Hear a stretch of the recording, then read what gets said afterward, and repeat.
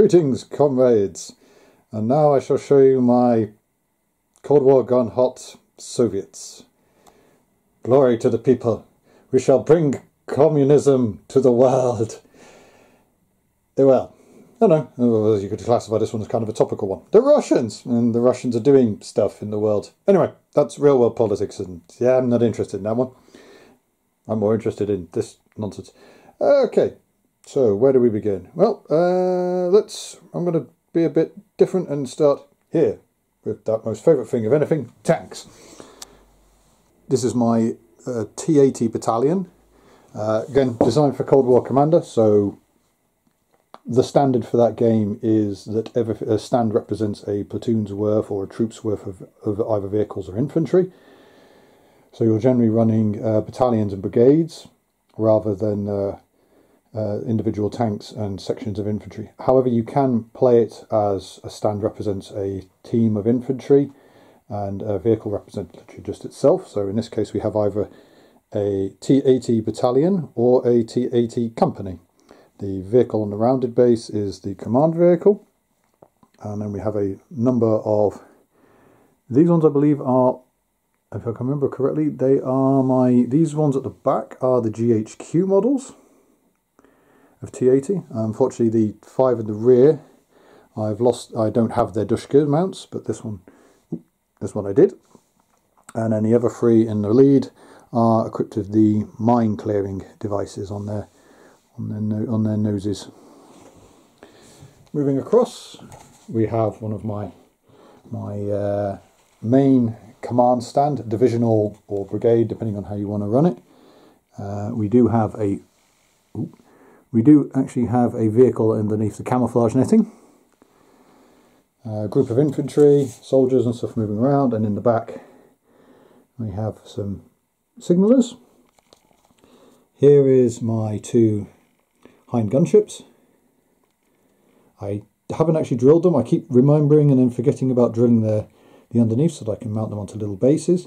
For Cold War Commander, you technically don't need Hind gunships or aircraft or anything like that. You don't need helicopters. You don't need these things as they make their attack and then they and then they disappear off the table again. So again, requiring them is more of a like an artillery strike or something like that. However, it's always nice to have the models themselves, and you can just drop them down, and yeah, as soon as they're done, they come away. Next up is my flogger. Again, I haven't drilled the underneath. I do need to remember to do that. Uh, both of these, if I remember right, I think the flogger is a GHQ and possibly the Hind gunships are as well. If not, they're H&R. I'll have to remember about this one. So moving across to the first of our units, we have my BMP command. We have a command variant hiding under the cam netting and a recovery vehicle moving past. Then we have the Recce group, uh, BMP BMP2 with a BRDM2, anti-aircraft group, which is the Shilka and a. Hang on, panics, quick, quick, what are you? SA9 slash 13. Basically, uh, gun, gun, gun and missile. Moving across, we have our artillery OP with his BRDM 1 and the anti tank group marked armed with BRDM 3s. Double checks? Yeah. Three BRDM 3s, that's what it's supposed to have. This uh, everything here is designed around the WRG orders of battle converted for Cold War Commander, which can be get off, which you can get off the Cold War Commander Blitzkrieg Commander Future War Commander website. So each battalion group has a so each battalion has a command stand. In this case, as a BMP group, they have a B. Here we have another BMP two, some figures, and then the infantry teams with their transports. BMP battalions are organised around nine BMPs in total. It says that, and then he double checks his paperwork. Hang on, no, 10 BMPs. Hang on, one, two, three, four, five, six, seven, eight, nine. I've got nine. That's not right. HQ, 10 BMP, 6 infantry, and I say 7. Have I, messed, have I messed this up? Give me a moment. Right, anyway. Uh, uh, right. I can't count. So, uh, yeah, the list says 10 BMPs in total, and I had um, uh, didn't have enough. Anyway, so I did. I was actually wondering why I had six extras. And I was like, oh yeah, cool, that's fine. I was like, okay, I just can't count. So, as I was saying, so battalion commander of a BMP one, uh, BMP two, then we have nine, sorry, eight BMPs. Hang on, one, two, three, four, five, six, seven, eight, nine, nine BMPs, each with a stand of infantry to represent the three rifle companies, motor rifle companies. And in support, you have the support groups, which is two 120mm mortars with their tow vehicles, in this case lorries, and a BMP2 with a SA-17. This is then repeated with all three battalions of the all three battalions, so command variant, and then nine BMPs with their infantry stands, two mortars, and a anti-aircraft team. Like I said I have three battalions of this, and then to finish off the regiment, the motor rifle regiment, we have a tank battalion, which includes the T64 command and then nine T64s. Because I'm not a fan of the T72, I like to be different. Now that's the following the Orbat, so that is a complete, as he picks up his book, so that is a complete, what we have here is essentially a complete BMP regiment, also motor rifle BMP regiment, uh, and in all, more or less all of its glory. Now, on the other side, you may have noticed that we have something else. Not completely different, but slightly different vehicles, slightly different more stands, and actually correctly correctly worked out this time. So here on the other side we have our BTR regiment, so a motor rifle BTR. Uh, vehicle lorry, uh, command lorry with command variant BTR 80. Reconnaissance group of BMP2 with BRDM2 anti-aircraft group and the tank hunter group or the tank destroyer group.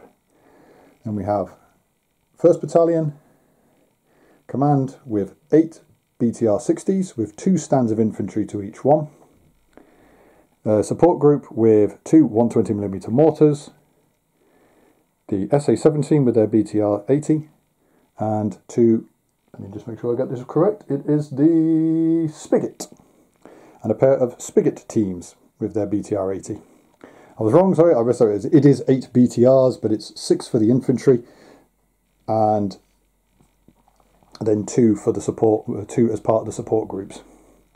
This is then repeated with the 2nd Battalion, Command, 8 in total with 6 rifle groups, support groups of uh, anti-air and anti-tank, and the mortar supports. And then at the back we have more T64 tank battalion with one command and nine T64s. Now you might notice that I've gone with less because I didn't quite have as I wasn't able to get my hands when I was building this lot up with a third battalion's worth of BTR 80 as a Soviet motor rifle, whether it be BMP or BTR or any, or any other versions, is inferior at full strength, three battalions of infantry with a tank battalion. Then you flip that round uh, for the tank regiments, which so it would be three battalions of tanks with a BMP battalion normally attached. Uh, let me see. What else have we got? So that is my two forces. Now the thing that I was pondering is because I have that T80 battalion over there at the top, what I can do is take one of the BMP battalions, bolt that to them, and essentially if I had another T80, which I do, I can pretend it's, I can basically, it won't be on a circular base or it won't be on a command base for as a regiment. I don't quite have all the toys like these bolt-ons to go to the tank regiment. But essentially I could create a understrength tank battalion or tank regiment with a BMP battalion, T80 battalion, and then have two. So essentially I will have potentially a complete-ish motor rifle division, which would be a, a battalion, oh, sorry, a regiment in BMP, a regiment in BTR, and a regiment of tanks. Or I just take the tanks away from this lot and I do. Yeah, the, the advantage of having so much here is that I have I can change, I can chop and change my units around as I need to.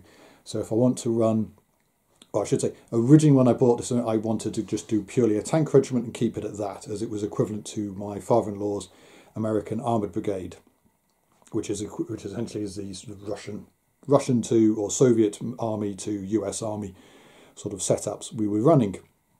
This would have allowed me to run a dice um, tank heavy force, but again, it's Cold War Commander.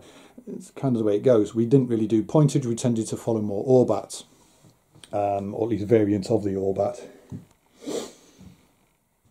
So this would allow me to field, as it is here, this allows me to field either a tank regiment and then have you know, infantry regiments without their, also rifle regiments without their armoured elements, but then they're all mixed and matched. I can mix and match the battalions and the battalions with each other to make up combat groups, depending on how um,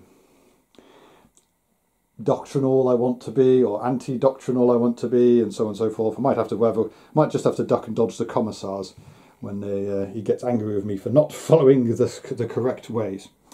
So on to the next toys. So in the back we have the uh, BTR regiments armor, um, I was going to say armored, armored up pioneers, but they're basically their engineer group. So this is three stands of infantry of pioneer group of pioneer engineers with their transports, and then a armored. Sorry, we have an armored vehicle. Sorry, an armored an armored engineer vehicle, an armored bridge layer, and a lorried bridge layer. With the BMP, we have the same again.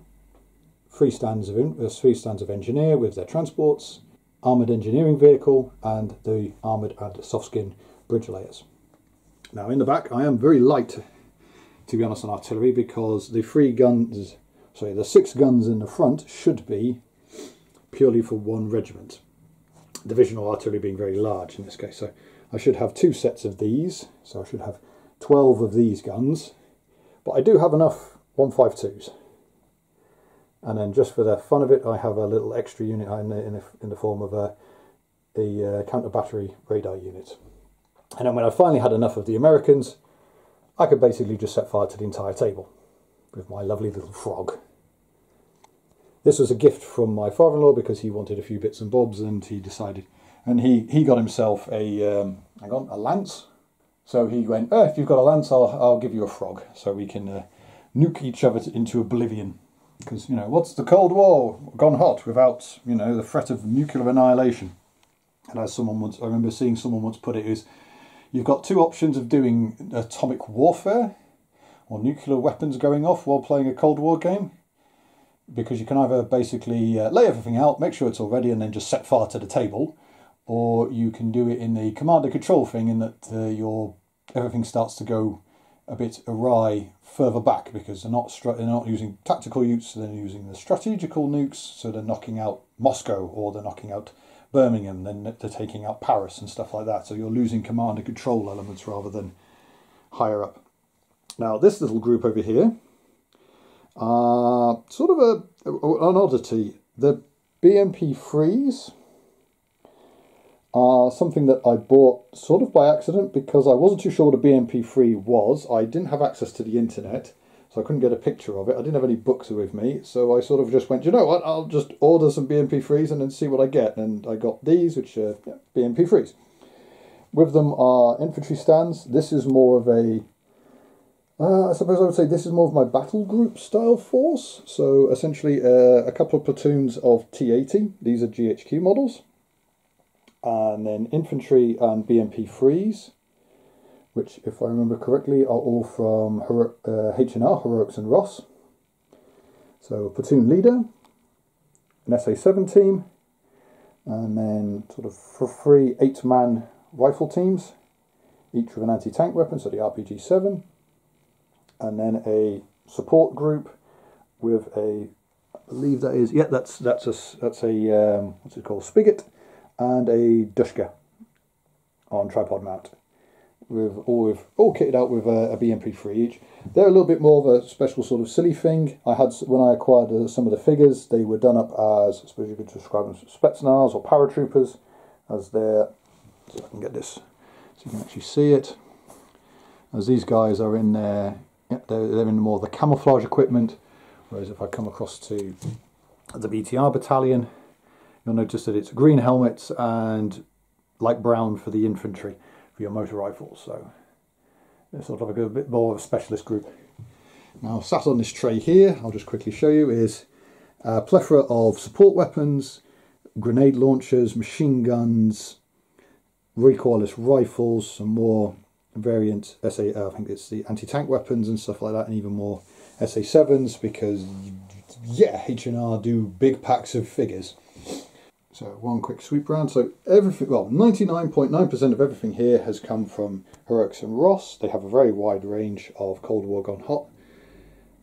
If you want to say, uh, or modern. It's not really modern anymore because it's the 80s, uh, 70s and 80s, but it's, uh, you know, the what I think most people generally refer to as the modern sort of style. 90, as I said, about 90% of the figures and vehicles have come from them. It is, if I remember correctly, literally things like these, my T80s here, and the T8 and the 5, 6 T80s at the rear, who are all the GHQ figures.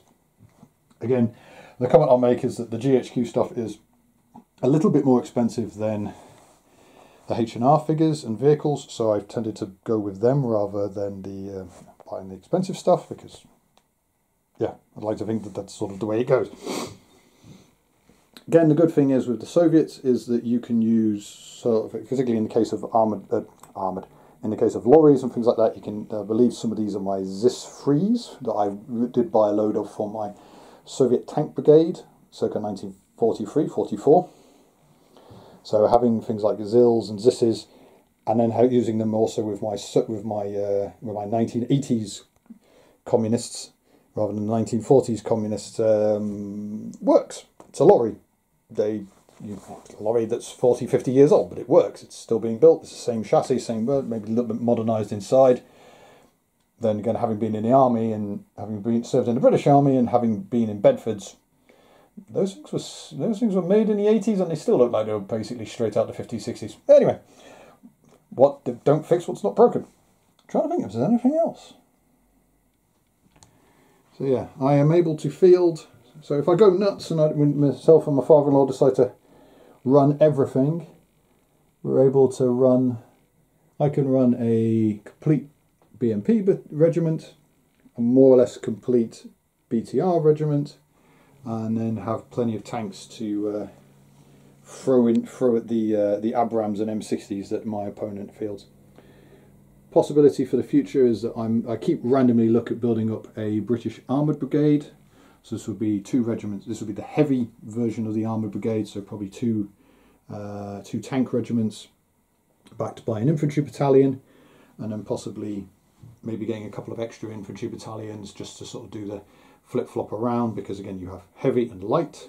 Again, it's all armoured.